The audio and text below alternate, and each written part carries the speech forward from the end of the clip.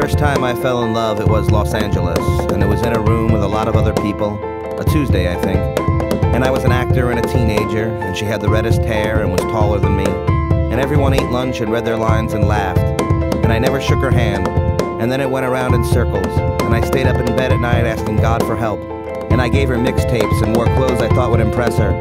And the weather was always fine, and she thought I was fine, just not kissing material. And the way it was was something that will never happen again. And she grew up into something else, a rock star. I still see her from time to time in magazines.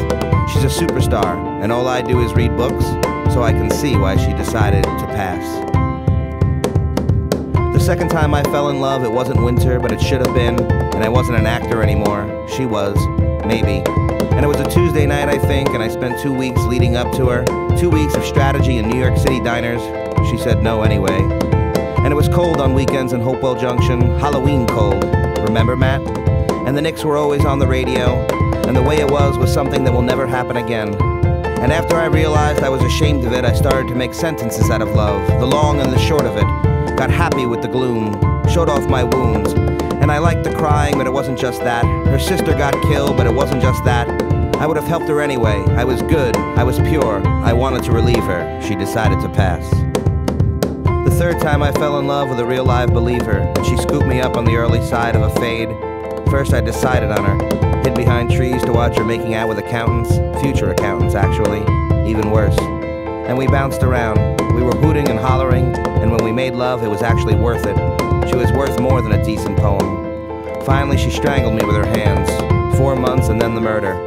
My fault, really, but not much left of me. I was constantly crawling, I wrote her letters from Cheyenne and Provo and Los Angeles too, and I argued for what she left behind, and she didn't so much decide to pass but pretend it was never there. And the way it was was something that I will never feel again. Then 10 years went by.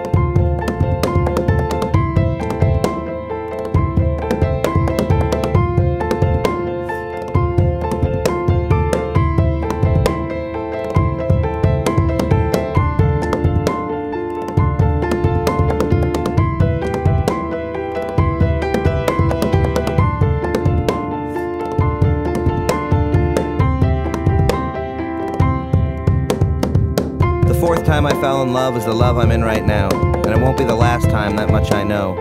But I like it because I can't watch her start to cry. I always have to make it stop.